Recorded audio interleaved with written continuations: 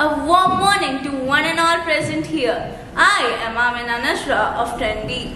I stand before you today humble and grateful for this opportunity to share my experiences with the student council. So as we all know, being a part of student council is a challenging journey, but it is a but of course no journey is without its challenges.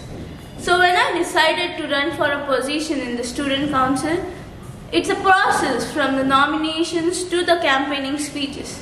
I knew I was embarking on a journey that would challenge me, that would push me out of my comfort zone, and that would help me grow in ways I never imagined.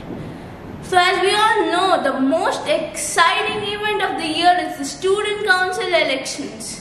So, uh, something that stood out to me the most was your support and encouragement I received.